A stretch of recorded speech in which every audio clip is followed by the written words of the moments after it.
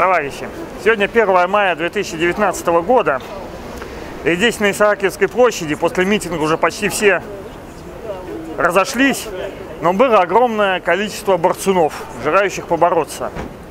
А вот как бороться, они не знают. Они говорят о протестных действиях, о том, что надо всем куда-то выйти и так далее. Значит, коротко объясняю алгоритм как борьбы. Как нам победить? Первое. Учимся. Если не учиться, то ничего не получится. Получится у вас, чем более вы будете революционные, тем более фашистский переворот получится в результате ваших активных действий. Надо учиться. Для учебы рекомендую Красный университет Фонда Рабочей Академии. То есть, если не хочете туда ходить, ну, читайте так, Гегеля, Капитал, науку логики Гегеля, Капитал Маркса. И собрание сочинений Ленина, полное, синее лучше, хотя можно четвертое, коричневое, с самого первого тома начиная. Читаем. Это раз. Второе. Оглядываемся в своем трудовом коллективе и начинаем составлять коллективный договор. Я обращаю ваше внимание на то, что не для учебы, не для составления коллективного договора вам никто, кроме вас самих, пока не нужен.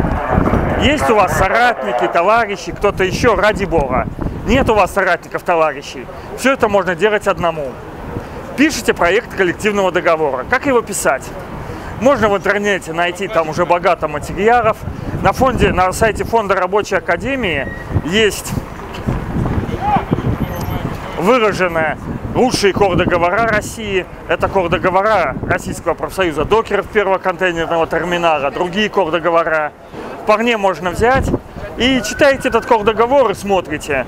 Эту статью можно взять без всяких изменений, Эту статью надо как-то модифицировать к вашим потребностям, а эта статья, она типично докерская, вам она не нужна, выкидываете ее. И на такой основе можно за неделю, ну за месяц на худой конец, набросать проект кор-договора. А вот потом уже надо идти в люди. Надо показывать этот проект, агитировать за него, говорить, чем он хорош, надо обязательно сделать выжимку из этого кор-договора, коротенькую на страницу, где перечислить все его преимущества перед существующим кор-договором. Вот, и тогда, чем лучше вы проделаете эту часть, тем больше шансов, что люди за вами пойдут. Ну и само собой надо учиться, надо учиться разговаривать с людьми, но главным образом надо учиться кор-договорам, надо учиться марксизму-ленинизму, тогда уже без всяких методичек о том, как разговаривать с людьми, вам с людьми разговаривать будет все легче и легче. Вы это почувствуете, люди вас будут слушать. Ну а потом надо вести борьбу за этот кор-договор. Надо идти профсоюз действующий или создавать новый профсоюз, если действующий профсоюз совершенно не вменяем. Надо завоевывать большинство в коллективе, надо этот кор-договор отстаивать. И само собой, надо при этом смотреть по сторонам. И по большому счету ничего не сделаешь не только без профсоюза, но и без партии рабочего класса. Рекомендую присмотреться к деятельности Рабочей партии России и посмотреть, а не стоит ли туда вступить и обрести там своих товарищей, с которыми можно посоветоваться, даже если пока на работе у вас товарищей особенно нет. Ну, а потом товарищи у вас на работе появятся, и вы протолкнете свой кор-договор, вернее не протолкнете, а выйдете на забастовку, потому что просто так протолкнуть без забастовки коллективный договор хороший еще никому не удавалось. Если вокруг вас точно так же на предприятиях будут забастовки, то вы тогда вместе с этими предприятиями, своими товарищами уже сможете организовать совет. Что такое совет? Совет – это орган представительный, куда входят представители стачкомов отдельных предприятий, и который договаривается не с отдельным капиталистом, а со всеми капиталистами в городе, в районе, ну или в округе какой-то. Это будет совет. Совет должен взять на себя охрану правопорядка, это само собой делается. И никто не мешает вам ходить по улицам и наводить порядок, никто не помешает. Взять на себя какие-то вопросы снабжения, взять на себя еще какие-то вопросы. И со временем тогда сложится система двоевластия. То есть, когда будут советы со своей властью, и будут нынешние органы власти со своей. Но если все пойдет правильно, если вы будете действовать грамотно, а это зависит опять же от первого пункта нашего разговора, то тогда со временем советы смогут пересилить действующие буржуазные органы власти и сосредоточить в своих руках контроль за ситуацией. Это и будет советская власть, товарищи. Чего я и вам желаю. И как можно скорее. Еще раз с праздником! Дорогие товарищи, от лица Рабочей партии России позвольте поздравить вас с Международным днем солидарности трудящихся. Для трудящихся солидарность – это сейчас главный лозунг борьбы. Опять нам опубликовали статистику, и оказалось, что доходы работников падают пятый год подряд.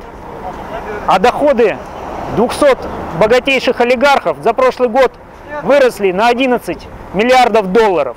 Это та дань, которую олигархи, капиталисты снимают с трудового народа, выжимают соки.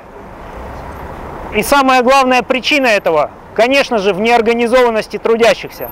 Поэтому Рабочая партия России призывает всех трудящихся организовывать профсоюзы, вступать в боевые профсоюзы, бороться за интересы трудящихся, бороться с переработками, бороться за сокращение рабочего дня. Эта задача под силам только боевым профсоюзам. И Рабочая партия России всеми силами помогает этому, несет научный социализм в рабочее движение. Поэтому всех, кто борется за интересы трудящихся, мы призываем в ряды нашей партии.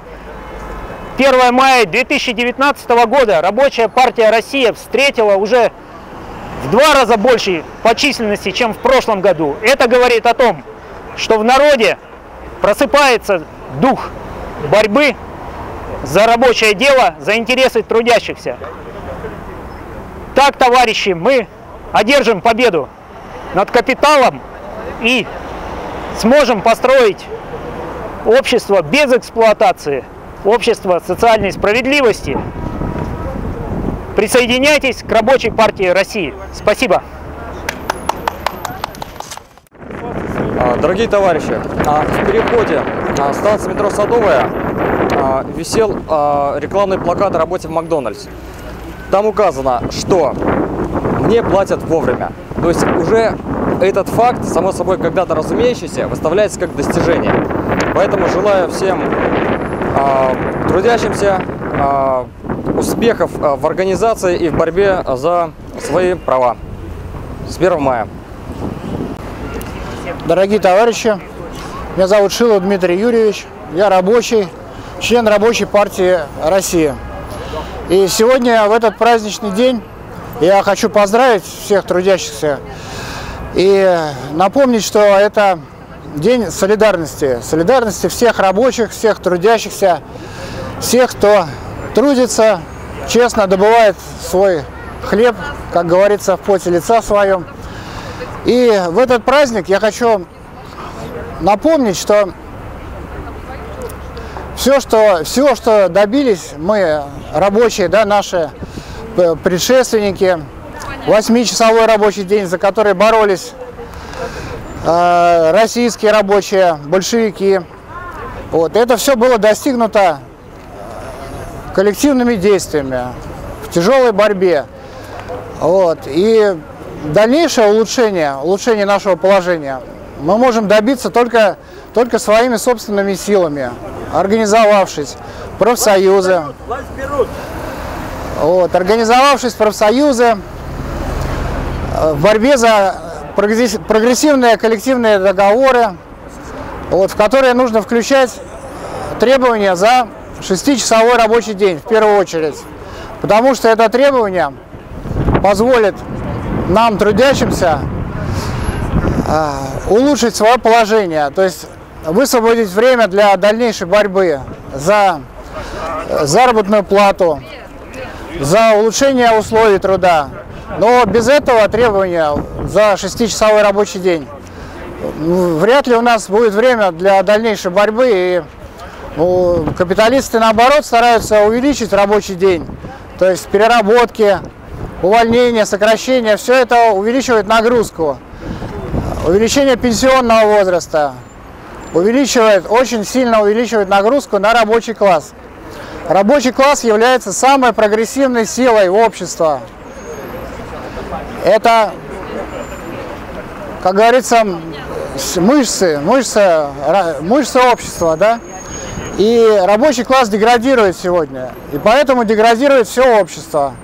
И пока мы, рабочие, не осознаем, что на нас лежит эта ответственность, да, и не начнем бороться за свои права, нас дальше будут угнетать, отбирать у нас те блага, которые были достигнуты рабочим классом всего мира вот, капиталисты, без борьбы не будет никакого развития. У нас заберут последнее, если мы не будем бороться. Поэтому я призываю вас, товарищи рабочие, и все, кто считает, что главная производительная сила, от которой раз, раз, зависит развитие в России, это рабочий класс. И будет развиваться рабочий класс, будет Россия подниматься. И призываю вас, вступайте в рабочую партию России. Вот, мы, мы Э, агитируем за 6-часовой рабочий день. Это коренное улучшение всех, всего положения рабочего класса. Сейчас это лозунг такой, который уже от него, от выполнения его зависит выживание, можно сказать, рабочего класса и, и развитие экономики страны. Так что давайте вместе включаться в эту борьбу и победим вместе с партией рабочего класса. Спасибо.